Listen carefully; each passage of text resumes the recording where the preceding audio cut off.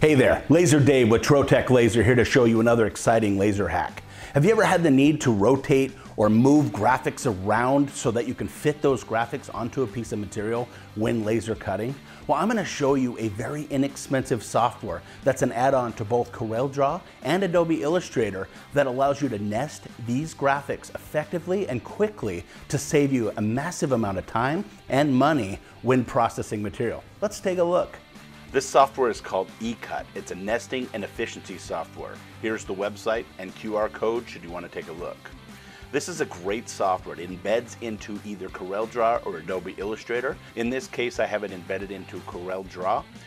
Once it's embedded, it shows up on the top toolbar and allows you to just select your objects so that you can quickly and easily rotate, move, and position them close together to get the most efficiency out of the material.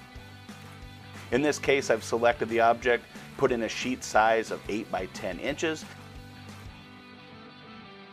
then hit apply a few times, and then we'll go ahead and hit OK. And it has converted my object from this to this, all in the matter of seconds, saving a massive amount of time and effort so that you can cut out cool files like this.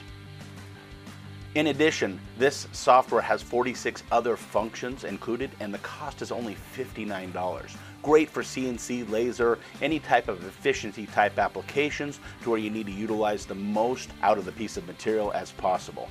This will save a huge amount of material and the cost of material. Thank you so much for watching this laser hack. Don't forget to like and subscribe. Until next time, Laser Dave, signing off.